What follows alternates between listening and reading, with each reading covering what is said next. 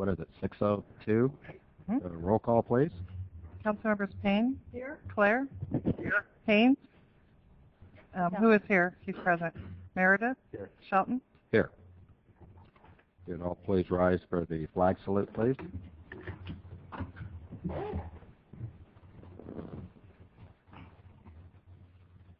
pledge allegiance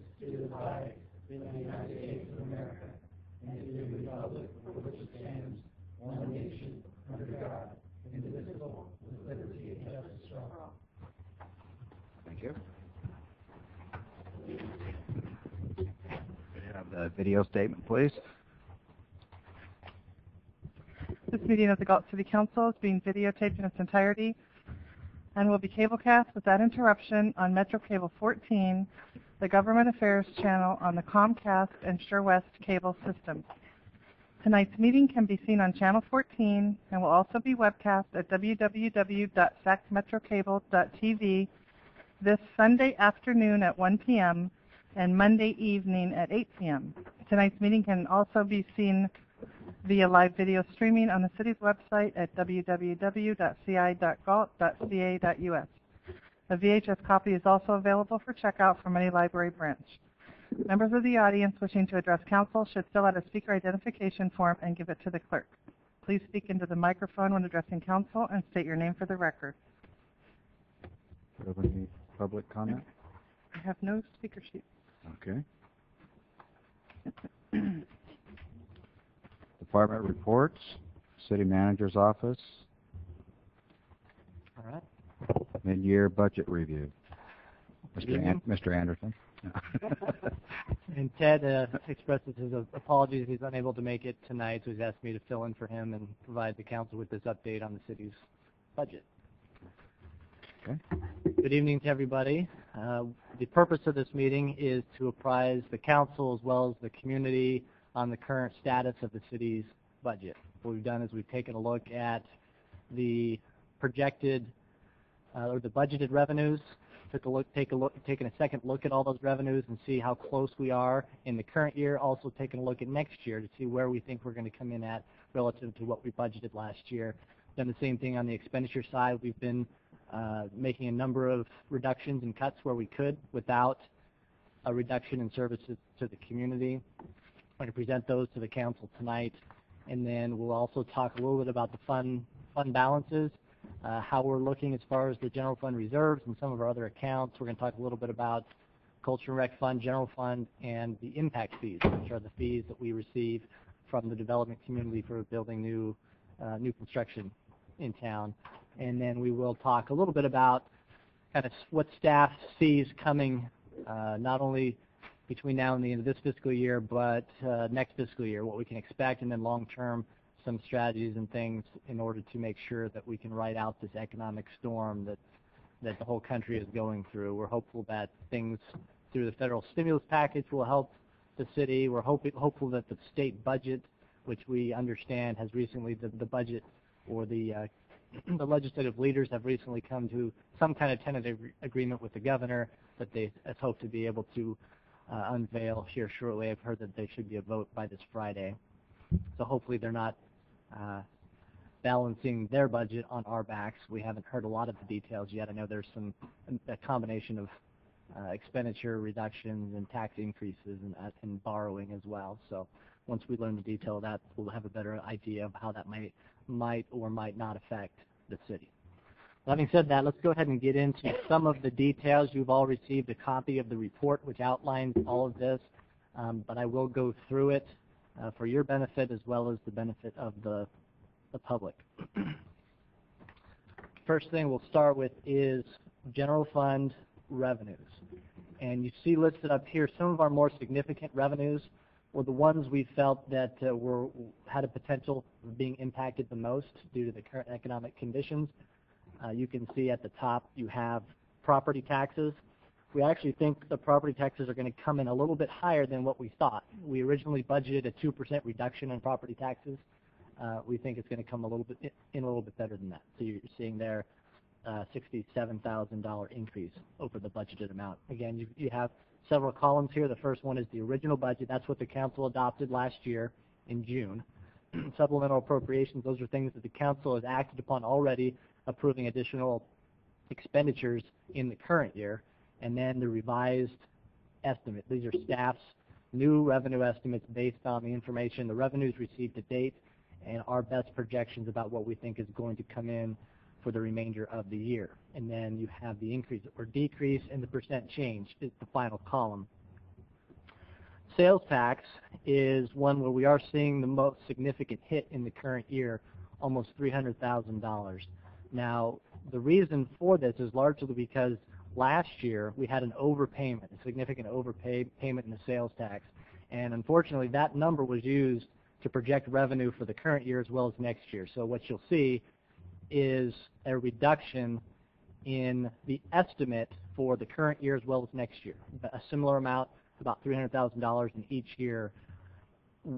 What's interesting is that even though this is a reduction from our estimate, it's actually not a reduction from actual amounts from compared to the prior year. We're actually, our sales tax is going up very slightly, I would say about 1% between now from comparing the current period uh, this fiscal year compared to the same period last fiscal year. So sales tax, if we didn't have that one-time anomaly that caused us to, to misestimate the current revenues, we would be right on with what we've received in previous years, which is good.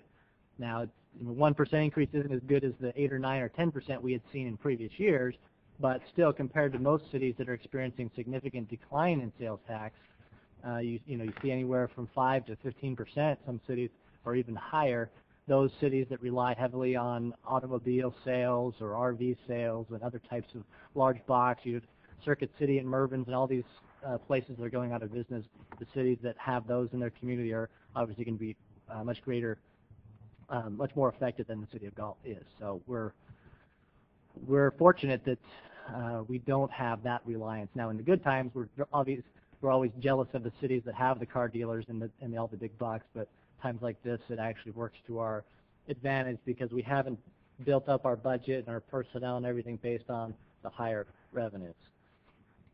Um, going down through the list, there aren't a whole lot of other big items, although I will point out a couple of them.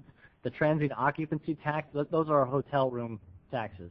And we're seeing a slight decline in occupancy at the existing hotels. Also, I believe we anticipated towards the end of this fiscal year that the new Holiday Inn Express would open, and that's been that's been pushed back. They have not given us a new date, although they have. I spoke with them about a week ago, and um, he's he's asked for an extension on his on his permits, and he's still hoping to find financing and move that project forward. So we're hoping we're still hopeful that that'll come forward, but we've had to push back our estimates on that. And then the state motor vehicle, that's down for a couple different reasons. One is registrations are down, but also the state's provided us with some new numbers showing what the likely impact is going to be uh, for for all cities, and it's based on it's kind of a convoluted way that they distribute those sales taxes. It has to do with a triple flip, and it and it, it's based on um, property tax numbers and some other things. So after it's all calculated, um, we're showing about a seventy-six thousand dollar decline in the current year on our state motor V revenues.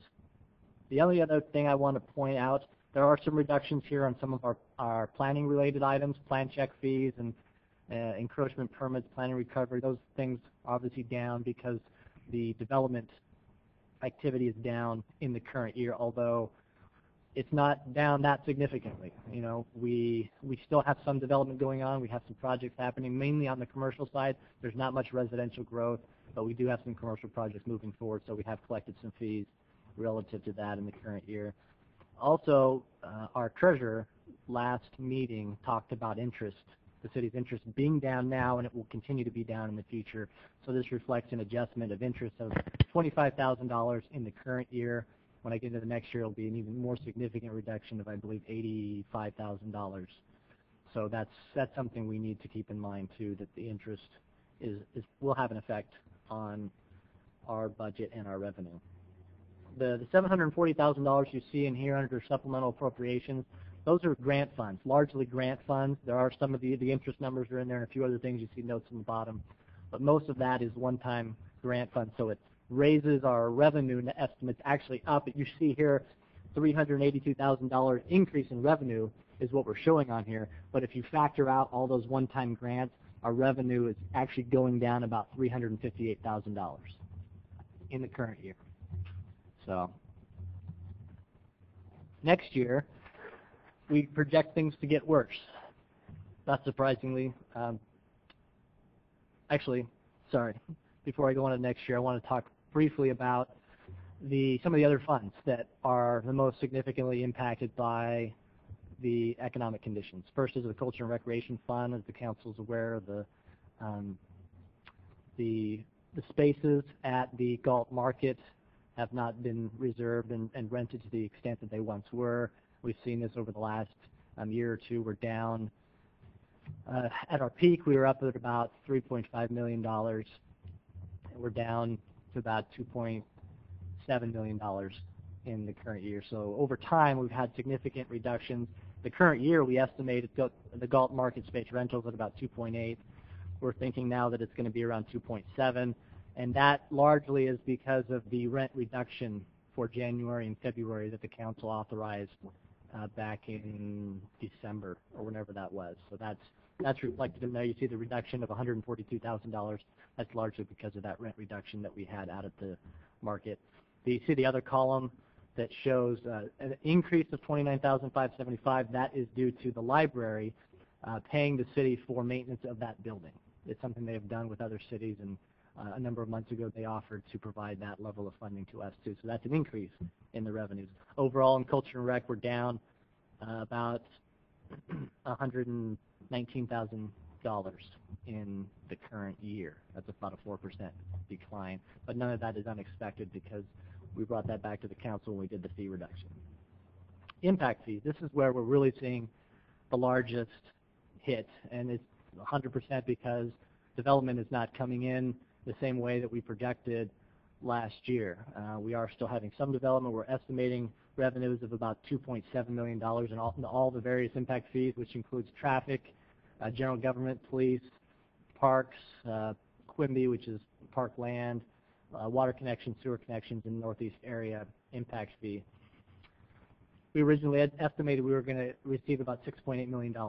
So it's a significant reduction of four, a little over $4 million in the current year. It's a 60% decline or reduction in, in revenues. And I'll talk in just a minute about how we believe these reductions will impact the various capital improvement projects that we have going on in the current year as well as uh, the next several years. Okay, moving on to next year on for the general fund. Again, it's a in the current year, we're expecting revenue declines of about $358,000. Next year, we think it will be greater, uh, upwards of $1 million, just over $1 million from what we estimated last year. The biggest hits are in, uh, again, sales tax for the same reason I already described. Property taxes we think will go down a little bit more than we anticipated. Uh, um, again, transient occupancy taxes largely because the Holiday Express is not, uh, we don't anticipate to open next year. Further reductions in all of these fees, and a much larger hit on the development fee side. You see all the building permit fees, the engineering plan check fees, and so forth are down significantly. We don't want to rely on projections or expectations that the housing market or commercial real estate market is going to improve significantly next year. So we've almost we haven't zeroed out development because we still think there are a few projects in the pipeline that will move forward, but most of them have been have been erased off of our books. I think what we projected maybe six new homes next year. Um, so we originally estimated 25 or 30, if I remember right. So that's why we see uh, the reduction that we do in, in the general fund. So it's about a 12% reduction from where we when we originally thought we were going to be. For the Culture and Recreation Fund, very similar to the current year, we we believe that this uh, will be steady. The, the the market revenue will not continue to decline next year. That will kind of level off, and we've been pretty steady over the past year. We haven't seen further deterioration. We're we have a pretty steady average going on right now. Um, we're not sure what we're going to do yet as far as um, doing another rent reduction for January and February of 2010. We put it in here just as a, a placeholder, anticipating that we may want to do that. So that has been accounted for in these in these estimates. You can see the reduction of $142,000 again for next fiscal year. And that will be a decision that the council will make sometime next year, depending on how things are going at the market and what the revenue conditions and expenditures are with the, at the city at that time. The impact fees, again, there are they are down about $3.7 million in that year compared to what we originally estimated. Uh, still, there are some there are some fees coming in, about $4.2 million, largely from the commercial side. There are several different commercial projects that we anticipate moving forward, the largest of which is the Galt Place project. That one um, is anticipated to be under construction now, but the agreement with them says that they won't actually pay their fees until the building is opened. And, ba and based on their current construction schedule, I think they're hoping to break ground in April, and it's a 13-month construction cycle. That would put them into about May of 2010. So then we would, would receive those revenues at that time. So that's a big portion of those fees are from that one project. Okay. Uh, in light of the revenue reductions we're experiencing, staff has been proactive in recommending and, and implementing expenditure adju adjustments where we could. And uh, I'm going to go through those briefly.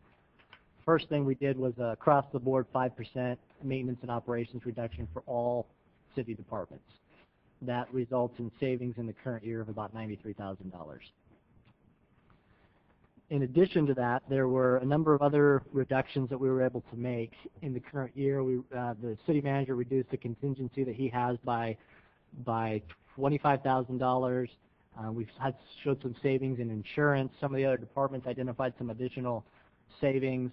Uh, we did have a few increases. We had uh, some some outside plan check services that were coming are going to come in higher than we we budgeted and so forth. So that the net under that second line item is savings of about $15,000. We deferred one capital item. The only capital item we had budgeted in the general fund was the City Hall emergency generator replacement. We have installed um, something that we think will get us by for a while. It's a um, emergency notification system in the event that the power goes out and the generator doesn't doesn't kick on. It will send, uh, it will actually call the police department and let them know that the power is out so that they can come over here and get the generator operated or find alternative means for getting their communication equipment and so forth running. Uh, there's some equipment on the roof here I think it's the, the radios and so forth that rely on that equipment, so it's important that we have some functionality there. So we think that'll get us through for a little while, so which that results in about $70,000 in savings in the current year. Finally, we have salary savings. This is a combination of different things. Uh, as the council is aware, we have frozen a number of different positions in the city, several in the community development department, one in the police department, um, and, the, and then also from the culture and rec side, um, a position in the parks and rec department. We also have uh, in the process of finalizing some revised labor contracts with staff. We hope to bring that back to the council in March, which should result in some savings as well. We're anticipating the savings in the current fiscal year at about $162,000. This is just for the general fund. So overall, we are showing savings of $341,000 in the current year.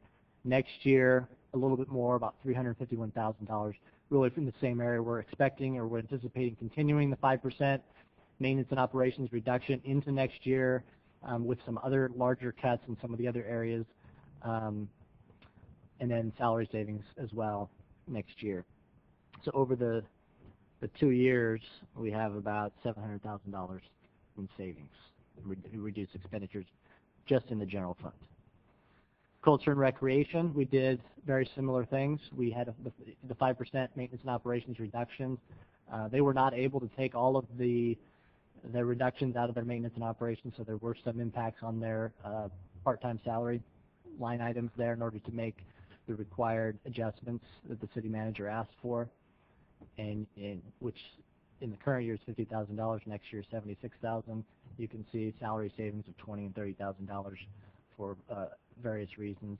And then you can see in the current year the expenditure reduction, that's from the market rate adjustment. What they did was they had a frozen position, which they had some savings from that. They had a few other projects and some other things that they were able to find savings in the current year. Next year, we, we showed an offset there as well. So in the current year, we have a savings of $201,000, and next year almost $250,000 in culture and recreation. Okay, impact fees. Here, we have a list, provided a list to the council of the projects that we think will be impacted by the reduction in impact fees. These are ones that we would recommend that we, that will be delayed. Uh, we don't have, we haven't finalized or gone back and revised the capital improvement program. We will do that as part of this upcoming year budget process. So you will see all the details as far as how far they're going to be delayed and everything else. But this, at least this gives you a snapshot of which projects we believe will be impacted. And then once we update the official budget in a couple months, you'll have more details on this as well as the other programs. Um, I'll go through the list quickly under the general improvements category. We have the City Hall renovation, which was anticipated to start this fiscal year. All of these actually in this category were anticipated to start in this fiscal year. Courtyard Annex site improvements, MSC and Courtyard Annex gated entries, and the MSC office expansion. Uh, especially with the expansions and, and so forth, we don't see as big of a need to proceed with those projects. The revenues are down. We may uh, need to move forward with a portion of some of these projects, like the City Hall renovation. There's a need for some security enhancements and up upgrades that we may move forward with, with anyways. We still are anticipating moving forward with the design phase of those because there's sufficient funding to do that. We just wouldn't actually start the construction until there was sufficient funds to do that. Under transportation, a couple projects, the Carillion Boulevard, Walnut Avenue traffic signal, that was largely driven by the, the need for traffic control there because of the movie theater. And that's been delayed. We don't know when that's going to happen, so we think it's prudent to just push that off until we, we're more confident that that's going to happen. Additionally, the Marengo Road Railroad at grade crossing, that's another project that's driven by development. It was, it's a crossing over by Elliott, and Elliott is actually conditioned to put that in as part of their phase three, one of their later phases that uh, they're not going to be moving forward that phase in the near future, so that project will then get delayed as well. Under transportation, it's important to, we can talk about the Central interchange for a second because that's a big project. Everybody always asks about how are we doing on the funding for the Central interchange. We still, we don't, um, we don't anticipate delaying that project. When we did the budget last year, we knew there was a gap in the funding from the developer impact fees, that there, that there wasn't enough in there to move the project forward in there, but we felt that either through uh, internal borrowing, we have some other impact fee funds where we have excess funds, for example, the Northeast Area Fee Fund 31, we have um, $13 million in there, and we don't have the urgent need for projects out of that fund that we could potentially borrow from there. We also have the potential to use redevelopment funding and also potentially money from the either the federal stimulus package or other grants and other things that may be out there. So we feel like through those combination of efforts, we'll be able to make up that gap, which right now is projected at about $10 million. So again, right now we're moving forward. The right-of-way acquisition is going well. The design is about 95% complete. We're hoping to go out to bid for the project in the fall, right? Okay. Parks projects. Harvey Park expansion was originally planned for next year. We're proposing to push push that off. Just simply we don't have the funds available to continue to proceed with that project in that time frame. Walker Park Phase 1B, which originally was going to be the artificial turf and the two uh, baseball diamonds and a few other things, that may need to be delayed. We've had some internal conversations about shifting some of the phasing around, potentially moving the the artificial turf up, but we're still considering different options. We'll be bringing that back to the council in the future to discuss that. One of the concerns we have about opening up a new park right now is the maintenance costs of that park. So it's something we need we need to look closely at. Um, just because we have the money to build it doesn't necessarily mean we have the money to operate it. So it's some of the things we're going to be looking at closely before we actually award a contract for construction on that park is we make sure we have the funding available to maintain it. Last thing we want to do is open it up and then not be able to service it. Okay, a couple of water and sewer projects. Carillion Reservoirs, again, this is a project that was needed due to growth expected or anticipated out in the northeast area. With that growth not occurring, the need for the reservoirs is no longer there, at least in the near term, so we're pr proposing just to push that one off. Uh, on the sewer side, the SCADA security improvements and the wastewater treatment plant expansion. Expansion, again, is not necessarily needed until we have developers wanting to move forward in, in which they, they can help fund those improvements. One of the things, one of our key projects, in addition to, there's really two or three main projects that we're trying to focus on, and we put as many resources as we could on those. One is the Central Interchange, another one is the wastewater treatment plant upgrades, but another one is the Live Oak Lift Station and Force Main. So some of these things we've had to delay in order to put the resources on those projects that we felt had the highest priority. So the SCADA security improvements is one where we still think it's a valid and, and important project, but we felt like the Live Oak was more important, so that one may have to get delayed a little bit. Uh, but at, this point, it looks like we will be able to move forward with the construction of the, the Live Oak lift station and force main, which, as the council knows, is a very important project to, to our community. Okay, let's do a little bit of fund balance comparison. This is the, the big picture of where we stand with the reserves in our general fund as well as the, the culture and recreation fund. First is the good news. The good news is last year, when we did the budget, we had a projection of what we were going to have in the reserves at the end of the year. We originally thought we were going to have about $7.3 million. You can see that first, or I guess it's the second column, but the first column of numbers, $7.3 million. We actually, at the end of the year, came up, came in a little bit better than that, $7.6 million. So we were up about $300,000 more than what we thought. When the audit was all said and done, we were a little bit better than what we projected. So that's good. So that $300,000 then carries us into the next year, having a little bit higher starting fund balance, which is a good thing. Without that, we would be down a little bit more. And that, and that, and maybe just make a point here because I think this reflects the conservative nature of staff in our revenue estimates and our expenditure estimates. We generally don't try to overproject revenues where we can. We try to be very conservative, and same with expenditures. So typically, we will see this type of thing where th money goes back in more than what we thought. We try to be as close as we can, but we always want to err on the side of caution. So, you know, I would not be surprised if, if in the current year we end up a little bit better than we thought. But I'd much rather have us end up a little bit better than we thought than end up worse than we thought. So what you see in all these revenue and expenditure projections are our best guess, but on the conservative side. And that's what's reflected here, that we did end up a little bit better than what we thought. So that's good. Okay, let's start now in the current year. We originally thought we were going to have the, the budget anticipated we'd start the year, the first column at six point, um, actually, sorry, this is,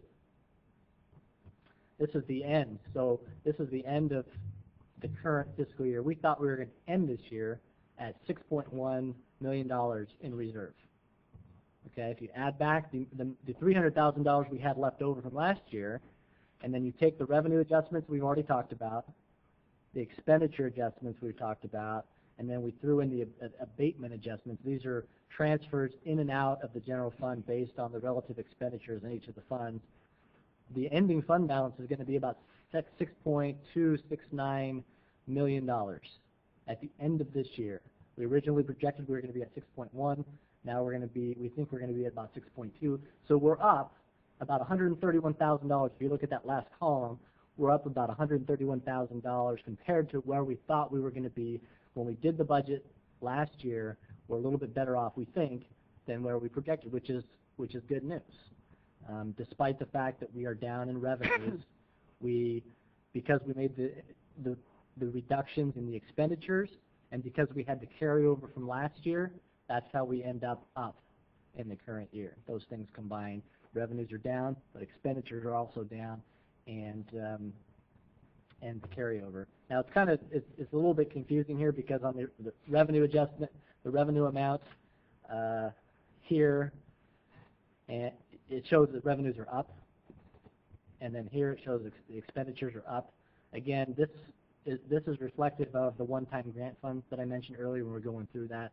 So that's all been factored in there. But essentially, those negate each other because you have an increase in revenues when you get a grant, but you also have an increase in expenditures when you get a grant. So they kind of cancel each other out. So, okay, let's look at next year now. When we did the budget last June, we thought at the end of June 30, 2010, we were going to have in our reserve just over $5 million. Okay, that's that first column. You can see $5 million. Uh, because we were a little bit better off in the current year, $131,000, that helps us. But then you see that big hit, that revenue adjustment, that $1 million we're down.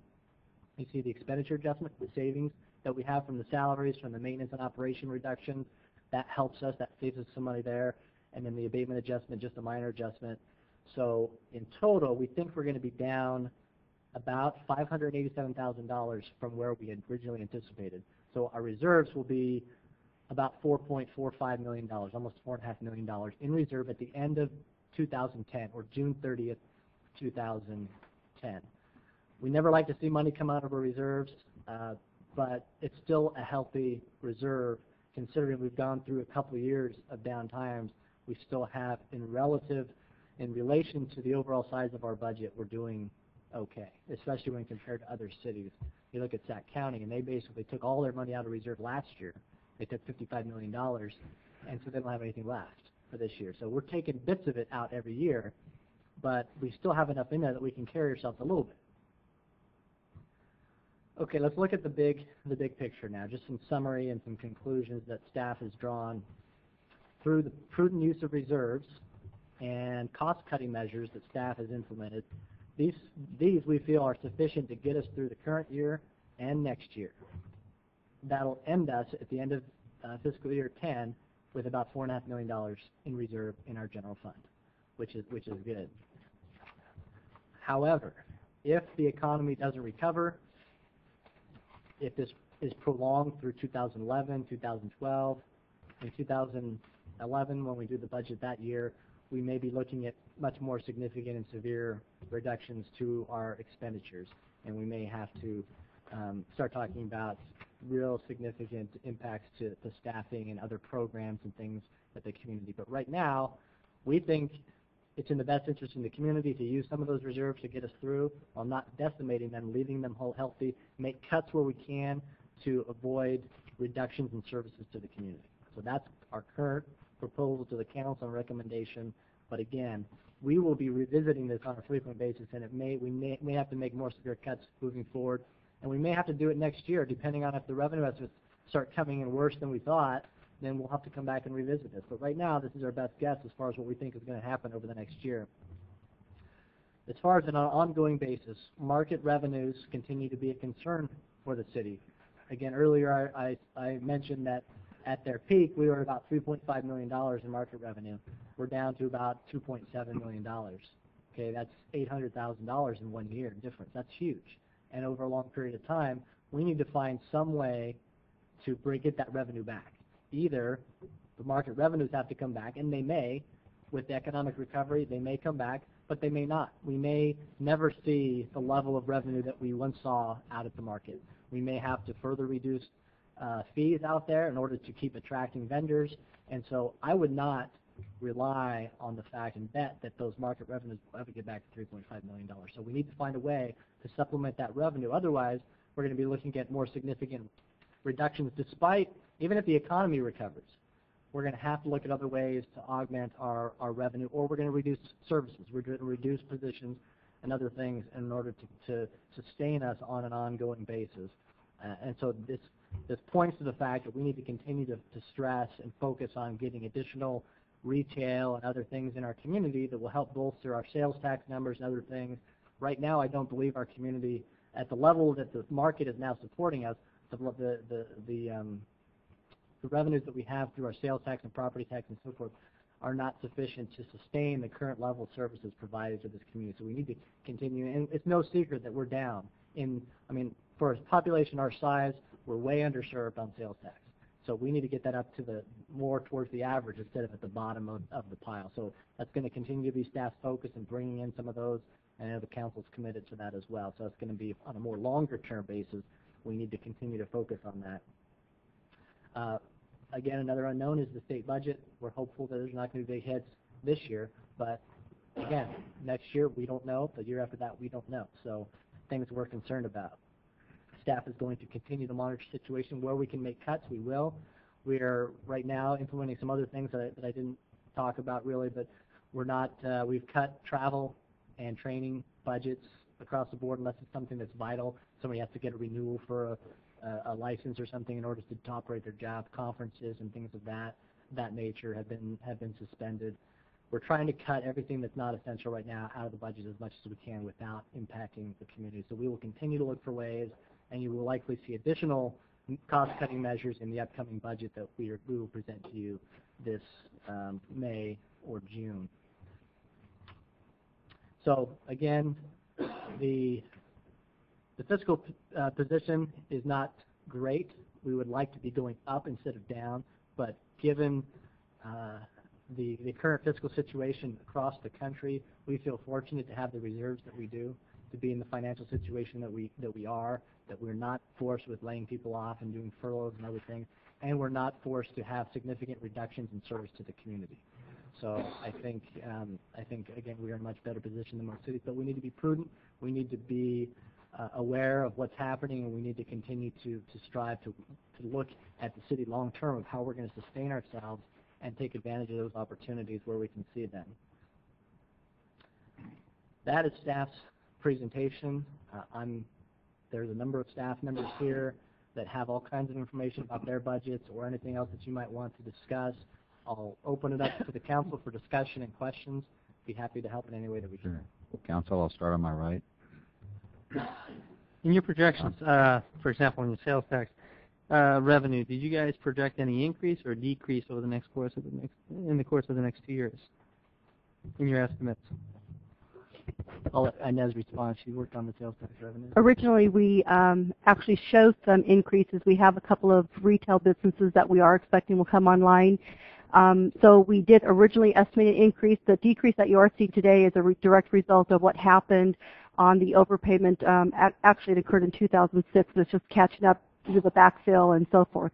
So we did project an increase, and I believe it was just about 1.4 percent, I think, is what we actually estimated an increase this year and for the next year. I know Um, we're very lucky that we're in a situation where, if you look around, like I think maybe a month or two ago, I read Sacramento County, for example, they talked about 18% of the commercial properties were sitting empty at that time, and it's increasing. And here we are, we're building businesses. I mean, we're just, this is incredible that we're moving in such a positive direction during these hard times. So Yeah, we we were very conservative with the estimates. Again, we do um, have some commercial establishments um, under development right now. We do know that the gas taxes, the prices have gone down, so we do expect a decrease there. That was kind of taken into um, in account as well. But generally, we did see, I believe, the estimates were 1.4% increase in retail sales. Um, now, I noticed two years we had that decrease about 296, I believe it was, right? Uh, I thought we have it for two years, but I thought it was like around 250,000 that we had to pay back. But now it looks almost like 600,000. Actually, the amount was $256,000. That's in the current year budget and next year's budget. When we went back in and looked at the estimates, we knew that the fuel prices were in there as well. So we had to actually ad- adjust that to the current year budget, and you'll see the significant decrease next year. So in total sales, we're estimating to go down, but the calculation included 256,000 overpayment this year and next year, and that actually occurred in 2006. It's just catching up with us now. When you're talking about the transient uh, occupancy tax, when you guys did the estimate, the McGee Center, which actually brings in a lot of revenue for the community, I don't know if people realize it, but those recruits stay in those hotels here in Galt. Uh, they are going to suspend that training center for at least three to six months. And I think their last graduating class is, I think, in March, if I heard correctly. I believe it is. Did we put that into consideration as to the impact it would have on us? Actually, what happens with the correctional facility is that the ordinance actually reflects that if you are there um, and using a room for over 30 days, that you are not considered a transient. What CDC has done is entered into an agreement with um, a local establishment, and so we're not actually generating as much on the TO tax as we had originally expected because they are not considered transients. So um, we've already taken that into account. In year two of the budget, one of the adjustments that you see is that we did expect that Holiday Inn Express would be online by then. We actually decided to factor that out for next year. So yes, we did take that into account. Um, we had originally estimated that TO tax would be a little higher because of um, the use of CDC, but as it turns out, they have a longer-term agreement with them. Over 30 days is considered um, a non-transit. We're not receiving any revenues from that. The McGee Center is also used for testing and training uh, for other agencies, for example, testing, and they also use our hotels. And I suspect that we're not going to see that happen for a couple of years because I think that uh, uh, any other testing for promotions, et cetera, are going to probably be put on hold. Um, so I think that would affect us as well. Um, there's a new program, or we're seeing, at least with the property taxes, there's some adjustments being made. And uh, the new stimulus package, there's supposed to be some funding in which, if I understand correctly, is that what it's supposed to do is it's going to adjust property values, allow people to uh, potentially reduce their interest rates. And this is something I read that could be coming down uh, the pike. And I, but my question is, is this something we should be majorly concerned with if the government comes in and starts, and I don't think we're going to see a lot of it, but I think it's going to affect us in some way if they were to do that. Have we considered, have we given any kind of consideration if that were to occur? I'm not sure of the question or the item that's coming down. Uh, Okay, no, I've comment. just been reading about this, and, and there's some money in the stimulus package, from what I understand. There's some money out there that's supposed to help, and uh, and I'm thinking that if they're going to write down uh, their mortgages, and these are for people whose mortgages are current and potentially, you know, are simply upside down. As to what they'll do is they'll lower the interest rates and possibly write off the difference. And if they do that, in some cases, I'm just wondering if that will affect our property values. You know, I haven't looked at that. I know what we have included in, in the estimates was basically we looked at the AV. We knew that the county actually reduced AV last fiscal year. Um, it did affect several parcels in our community. I believe it was about 23% of the parcels in our community. We have about 7,700 parcels. It affected about 23%, so we did factor that into our estimates. For the current year, we estimated that it would affect um, how many parcels? Um, from the county, and in fact, we just received some information from them that shows that there are approximately 347 parcels that will be further impacted in the current um, year on the tax roll. So we're looking at an impact of about 25,000. So I am aware of the Prop 8, the reductions and the, and the market values, but I am not familiar with that, so I can certainly look into that and see if there will be any additional impact to the city. Yeah, just because it could impact us. Uh, the wastewater treatment plant upgrades, and I and I've read a little bit, or I've heard at least that uh, that, that this possibly could be put on hold. Uh, Have we heard anything about this uh, possibly happening? Because the requirements from the yeah, yeah, as far as the requirements of you know uh, having this upgrade put in place at a certain point in time. Do we know about anything? that, Greg? we haven't heard anything as far as freezing money with the stimulus package. All of the economic money that's coming for water and wastewater is going through the regional boards as part of that loan program. It's going for loans and not grants. So they've also changed the project amount from 50, from from 35 million to 50 million. So everything we're hearing is that there will be money in those programs. They're not easing up on the The requirements. requirements, to our knowledge. No, they're not. In fact, they've uh, eliminated anybody who had an application in prior to a couple of days ago, which we did for our upgrade. You can't submit an application for the stimulus package, so we're excluded from that for this particular project. At least that's the rule right now. It may change tomorrow, but we're still planning on going ahead. We're moving forward with with that project and planning to get the money. Okay. Um, another thing is we receive funding. I believe it's state funding we receive for a position with PD, and we've got every time we do the budget update, we talk about this, and I believe it's a detective position, and uh, where we get half the funding and we fund the other half. Uh, I don't see it funded in here. We have budgeted about a hundred thousand, you're talking about the cops funding? Well, the cops funding, yeah, and I think we we have a where we we get uh, funding for 50% of the position, and then we usually fund the other half. And I know that it's probably been held up, uh, and it probably goes to I believe it goes to the federal government, to the state, and then eventually passes on to us. And we've probably been waiting for the um, state to pass their uh, budget in order for that funding to be released to us, Yeah, because we're always worried about whether or not we're going to get it. we typically receive hundred thousand dollars, and we never know for sure until the state passes their budget. It was included in the current year's budget, but with everything going on, they haven't actually released the payment yet. They've told us that it's that it's going to be coming. It's about hundred thousand dollars in in the current year. We do have some some money that's saved from prior years that was not spent that should carry us through most of this. If we don't get that hundred thousand dollars, we should have enough to fund that position through most of the fiscal year. If we if it doesn't come, we may have to look at some kind of general fund. um, we're not going to lose that position, but we're we will have the funding if it, Right. if, if once it- comes if through. it goes away, you know, in, in the future, then we'd have to look at, you know, what funds we use, Measure R or some other funding source to backfill that, the state funds that we wouldn't receive. But In the, in the budget, it's actually not shown in the general fund. It is shown as a separate fund. It's Fund 70, and it's uh, pursuant to AB 3229. And that was what we actually just talked about today, was um, council, um, the police chief did present to council an appropriation of $100,000, and I believe that happened in November. Um, so we have to make an appropriation before we can actually submit the paperwork to the state. But again, the state isn't actually releasing any funds as of yet. Right. But um, we do expect that once we receive that, that that will carry us through a portion of next fiscal year and pursuant to the budget document. If um, there are insufficient funds, then we'll be bringing that back for council consideration on um, additional funding sources. Okay. I just don't want to see that position go away. Or, We'll certainly bring that back to council for consideration.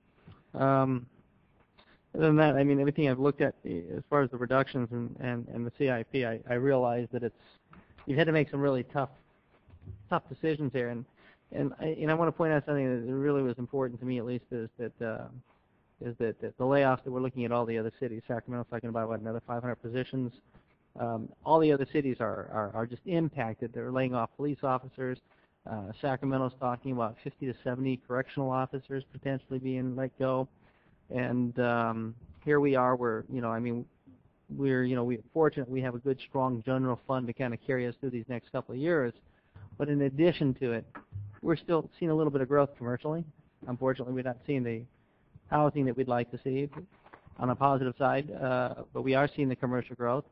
And we are most likely, and we're not likely, but we are going to see us actually hire more officers where other cities are laying off.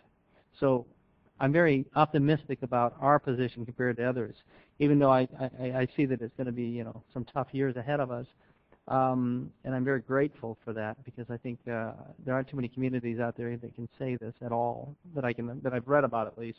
At least nobody's bragging. Um, so I'm very grateful for all the work and effort that you guys put into this, and it's and, and, it's, and it's good. And I'm hoping in the next couple of years, and I'm hoping this is not going to carry into 2011 or 2012, because uh, you know, I mean, if we're able to make it the next two years and weather it, and the other cities are already on the brink right now, I don't know where they're going to be in two years, and that's some real scary thoughts. But uh, one of the things that I said is important to me is that people aren't, we're not letting anybody go. That was my biggest fear is that I believe that if anything we can do to keep people working, we're all better off for it. So I'm, I'm very grateful for that, and I'll let some of the other council members comment. Andre? Thanks. Losing my voice a little bit. I want to go back to the property tax issue again, Inez. Uh, I was reading a press release from the Sac County assessor from April of 2007 where they were projecting that over the 2008 budget year they would see a $1.5 billion reduction on 50,000 properties in Sacramento County. And instead, now that fiscal year 2008 is over, they saw a $6 billion reduction on 85,000 properties across the county. And I, I'm just, I'm really concerned that we're not projecting a big enough loss in property tax revenue. And I, you were describing how you've been working with these numbers, so I'm just curious to find out how we came to this conclusion. Actually, the update, I did receive the update as well. And what the county did is there was, um, I believe there's over 400,000 parcels in the county. Um, the latest release was 85,000 parcels were going to be reassessed. Of that, the impact to the city of Galt was actually 23%. They estimated 21% countywide. Within the city of Galt, it actually was higher. It was 23% of our parcels. It was um, 1,800 parcels. That actually had an impact to us of last year of $130,000. So we actually knew about that. We built that into our estimates. Um,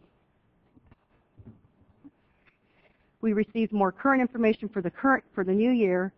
That's again Prop 8, and uh, the number of parcels there, I think, is over 300, 347 parcels. We expect that there will be impact in the current year of 25,000. That's over and above the impact of last year. So we factored that in the estimates. We expect that the estimates will come in. In fact, um, $67,000 we're expecting there will be an increase to the current year. So we are aware of it. We're working those numbers into our budget forecast, and um, we'll see what happens at this point, but we feel confident with the numbers at this point. Okay. My next question is for uh, Boyce and Armando. It sounds like staff is getting to the point where we're ready to declare that the market might never become what it, what it once was. So I'm wondering what we're going to do in the next year accordingly with, with our staff numbers out there. If we know that we're not going to have the peak that we used to, what are we doing to reduce our part-time employees out of the market? Actually, um, you won't see quite a reduction in staff numbers, only for uh, a couple of other different cost-cutting measures. Uh, we're using city employees uh, to do tra- traffic control on the C Street Bridge. Uh, that was a cost savings of $25,000. Um, I'm also um, people are just picking up the slack. We're we've already made cuts um, in order to help with the shortfall. So we're we're just not hiring as many people as we once did. People are doing the job of two people For the part-time. for the part time. Well, and including um, myself and the other two full time people, we are actually we're becoming more of workers than managers at this point. Okay. And then for Paula, what are we spending right now on average per council member on healthcare benefits?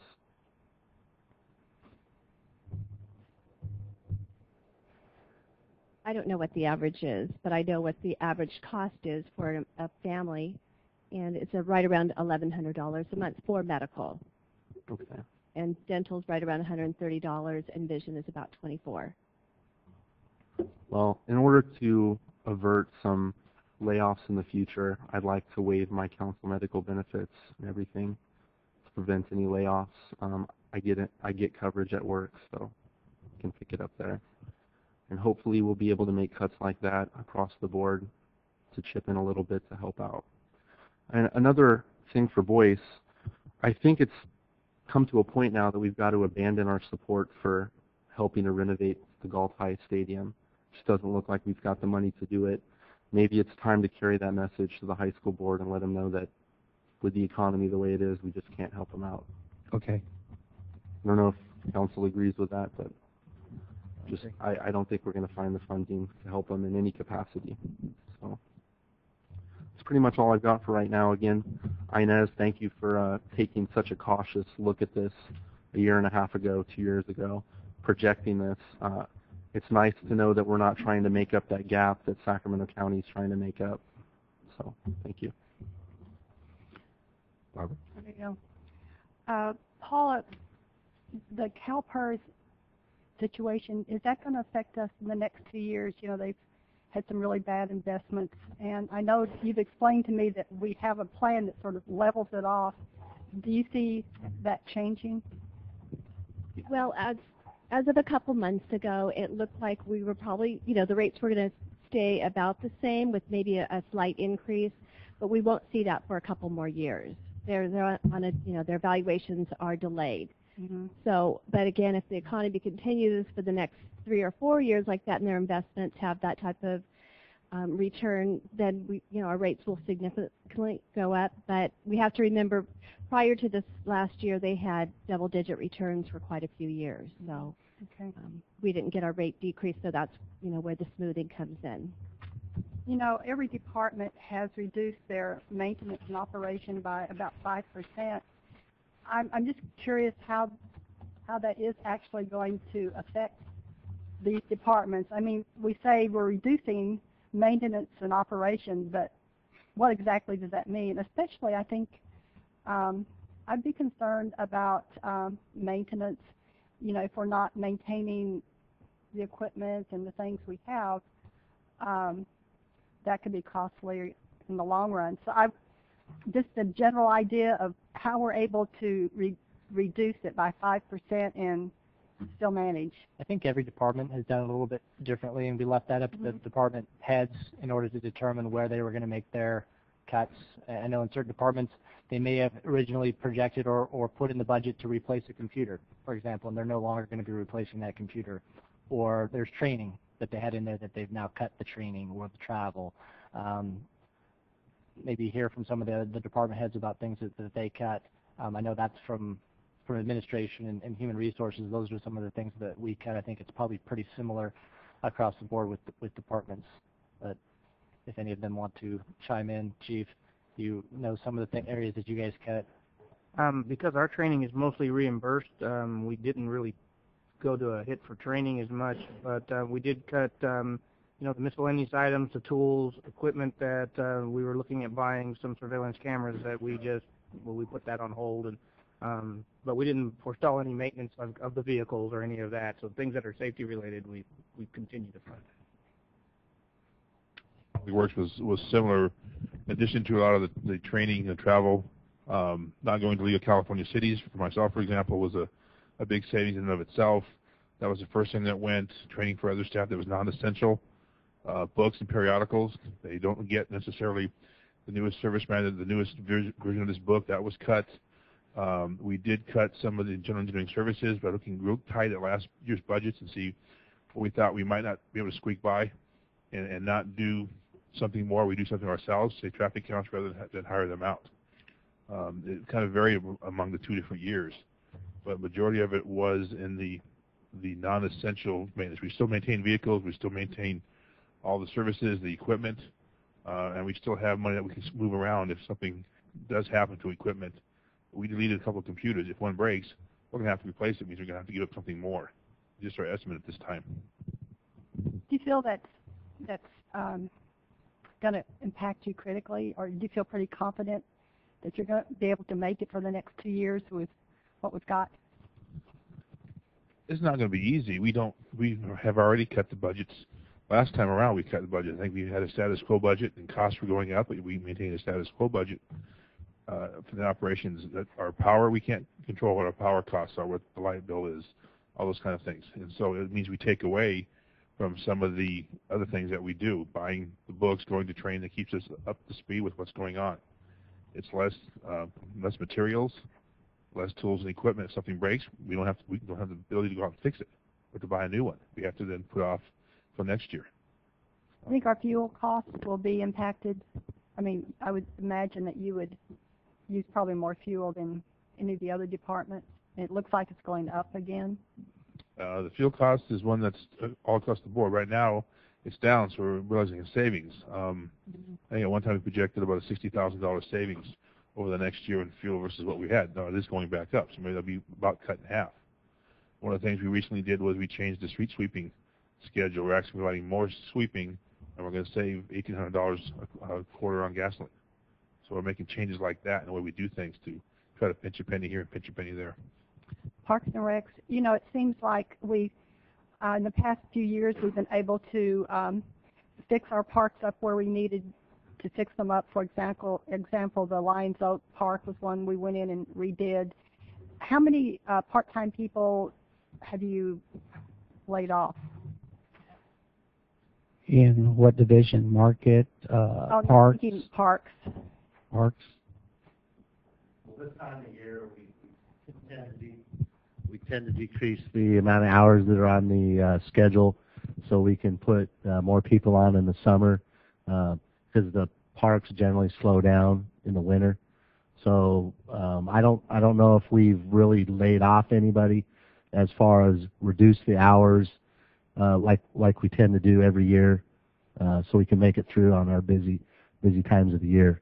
Um, when it comes this summer, we'll have to take another look at it. We'll be closer to seeing what our budget looks like for the end of the year, and we'd have to make those decisions then.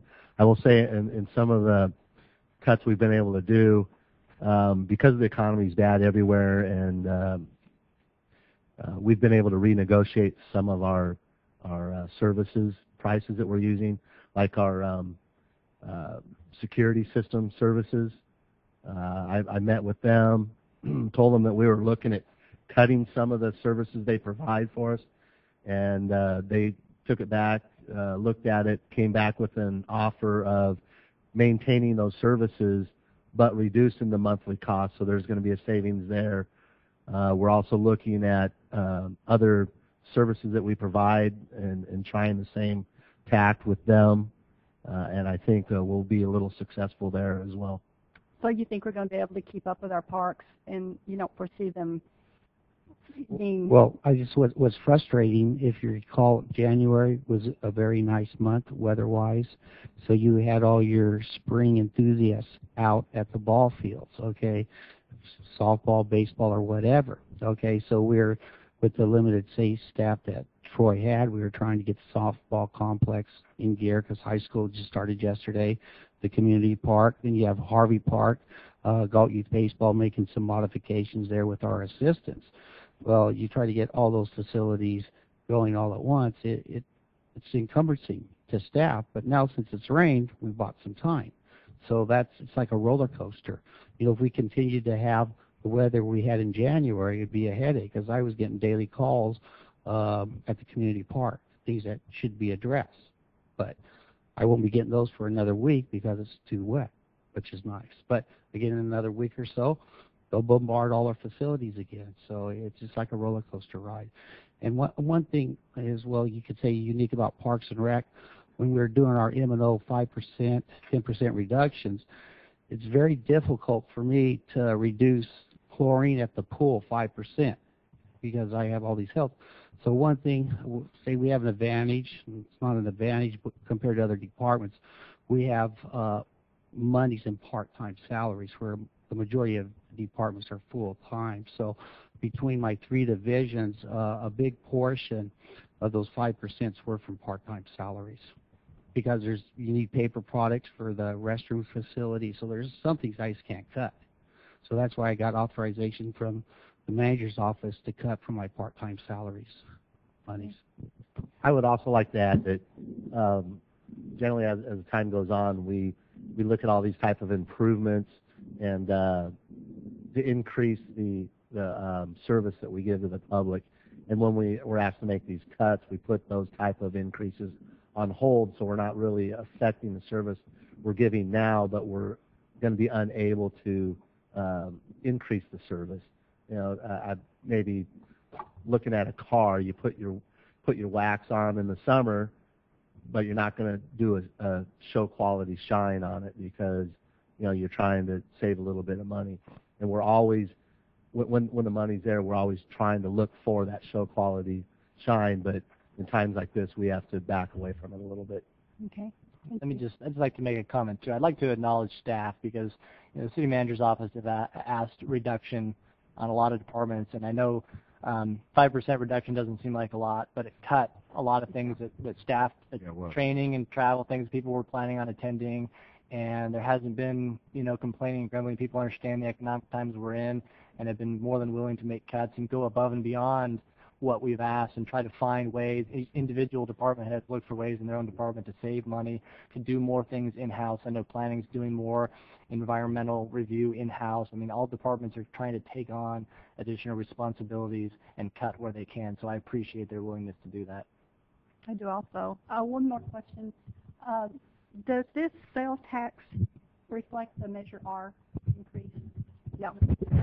No, it does So not. that will be We- additional? or- We will be bringing that in um, when we do the midterm budget process, and that will not be commingled with the general fund. It will be in its fund um, on its own, so that way we can keep track of it. We expect the first advance to hit sometime in June, but um, actually it will be part of the midterm process. And and uh, on that subject, that Measure R money, you cannot offset the funding from the general fund. No. It has to be maintained. So, you know, it's going to have its own account, much like it was intended to be set up, and that money specifically Right. to uh, create positions for more officers to get them out on the streets. Um, and I would comment that I do hope that we get uh, to do the work on the finance office to make it a little more secure. I was over there one day and it was scaring me as well. So I hope we can find the money, at least uh, that part of the budget of the um, improvement to the city hall. And I just want to also add that I do feel so much more relieved up here asking these questions that are important, but it's not like, well, who are we going to lay off? Who are we going to um, put on furlough? And I want to compliment the staff, especially finance, for being so conservative and and administration for keeping us safe. And um, I have to say, I'm really um, proud of the attitude that I've felt throughout the staff in the past uh, months as this is all occurring. And I think that what I'm feeling is we're looking for resources for the future to pull ourselves out of it. Under these conditions, I'm seeing um, pretty positive attitude, which is amazing. And I, I feel very fortunate to only ha- only have to deal with what we're dealing with. Okay. Daryl, did you have any comments or questions? Yeah, just just a couple thoughts. Uh, I think pretty much everything's been covered, but I also want to congratulate Ted. Hey, Daryl, can you hold on a minute? We're going to try to turn the speaker up a little bit, maybe. Can you hold the mic? Can you take down? the a mic little and bend it closer. down? If you, if you Is that better? Go ahead. try now. All right, test one, two, three. Is that better? Better? Yeah, a little. I think you Is it too loud or not loud enough? We can't hardly hear you. All right, is that better? I think that's better. Okay, Turn thank up the you. volume. Okay. Anyway, I don't have that much to say. I was just going to say I want to congratulate Ted and Jason and all the staff. I think you've done an excellent job going through this. As Barbara said, I think the the spirit obviously has been there to really see what can be done. So congratulations. I think you've laid it out for us and the public very well. Um, we're you know on a day by day, obviously with the state and the federal government. So we'll just see where that all comes out, and, and you know, I'm sure you'll be giving us updates as it does. So, and uh, I would just thank the uh, council and the staff uh, for both your support and your patience. I had asked that we put off some decisions and that we not fill some positions until we could see this. And so, thank you for for waiting until we could see what we've got here. So. Uh, other than that, I think you've done a great job, and uh, we'll just see where the rest of the entities around us go. I think I told you I'd had lunch with Don Nottoli, and I know the county's really wrestling with their budget, and the state's pretty obvious. So, thanks again. Okay. Any other comments from staff or council? If not, Um, let me ask one more Sure. question, uh, and I apologize. before you do, actually, Liz, could you? I'm going to hang up. Could you redial? I've got a lot of static on here. I'm going to see if I can hear better. Okay. Um, on the issue of the fuel tax, the governor's proposing, if I remember correctly, 12 cents increase on the fuel tax. You know what I'm talking about, right? So if he increases the fuel tax by 12 cents, the sale there's a sales tax on the fuel, and if I remember correctly, that sales tax is based on uh, the total amount of the uh, uh, per gallon, including the state and federal tax. Is that correct? I believe so. So if he raises it 12 cents, we should see a slight increase on our sales tax revenue in the area of fuel. Is that a safe statement? Actually, what I read was that they were increasing it, but they were actually trying to divert that for other purposes, that it would not be an increase to local governments. So that was Oh, information. so it won't affect the sales tax side of it. not not not from not for the city's perspective. So even though it was going to be used to uh, fund other items, they were trying to look at. Um, I believe it was. I'm trying to think of which tax that actually was, but my understanding is that it would not be an increase to the city of Galt. Okay. And I, I will look at some of my monthly reports because I think I actually did an analysis on that. Okay. I thought one of the reasons that they uh, put the sales tax on the total gallon, a dollar amount on the ga- uh, of a gallon of gas was because of the difficulty of going out and breaking down the amount of to separate out the state and federal tax and in the sales tax that would be uh, put on that difference. So I was thinking that if they raised it another 12 cents, that they would have that same difficulty, and that the sales tax would apply. That's what I was thinking. I, I don't recall that um, being in the draft information I received. So Okay. That, but you've answered my question, the 12 cents. I was just want to know if we would get anything gained from it. I wasn't aware of that. No. Thank you. That was the only thing I had thank you. I apologize.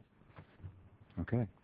Well, I feel, just to restate what the council members and most of you guys asked what I wanted to ask about taxes and everything.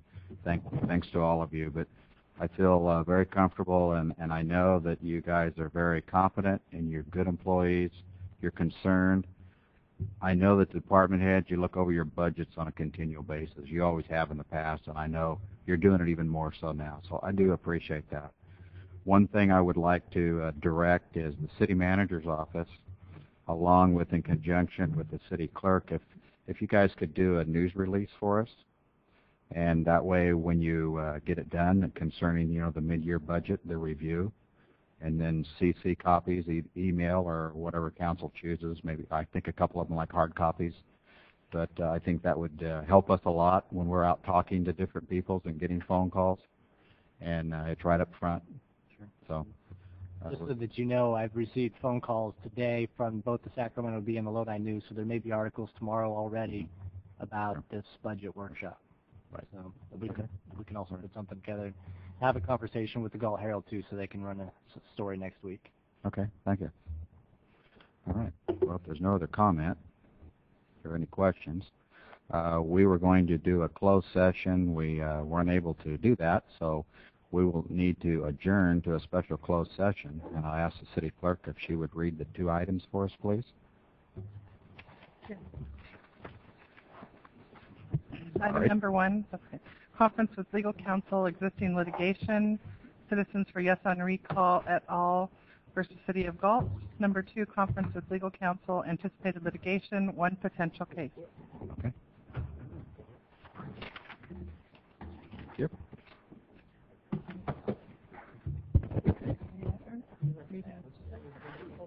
And, the- well, we're, we're adjourning to the closed session, so, Meeting adjourned. Yeah, and it was at like seven Seven fourteen. Right. I didn't hit the gap. Very happy. I just said we were adjourned. We'll, we'll pay for something. Carol, I'll call you back. Okay, thanks. Oh.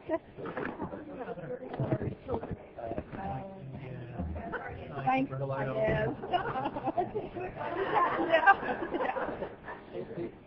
Inez. All right, I had to put the sandwiches in the fridge.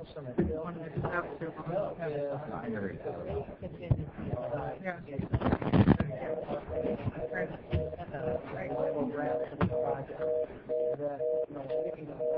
On, on, On, on. on the left, that long one on the left. There you go, thank you. Oh, On whose you know, left? that Sounds like the old emergency services.